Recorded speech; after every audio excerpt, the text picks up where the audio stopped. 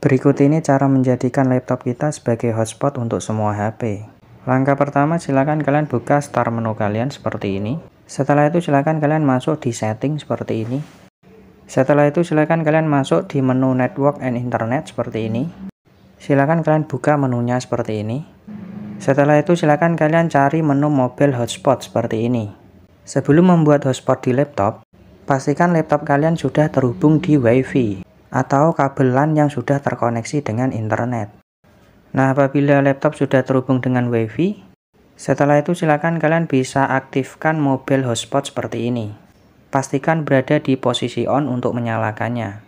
Untuk melakukan setting, silakan klik pada bagian ini Nah, di sini kalian bisa mengatur nama WiFi-nya sekaligus passwordnya. Nah, di sini ada share over. Pada bagian ini kalian tidak perlu menyetingnya, biarkan settingannya secara default. Nah, selanjutnya pada properties di sini kalian bisa merubah nama passwordnya juga dengan cara klik edit seperti ini. Silakan kalian bisa merubah nama wifi-nya dan passwordnya.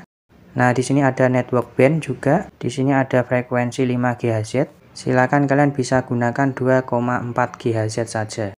Karena belum tentu semua HP mendukung frekuensi 5 GHz. Setelah itu jangan lupa klik save untuk menyimpannya.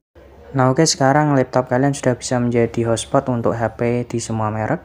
Nah oke sekian tutorial dari saya, semoga video ini bermanfaat. Terima kasih.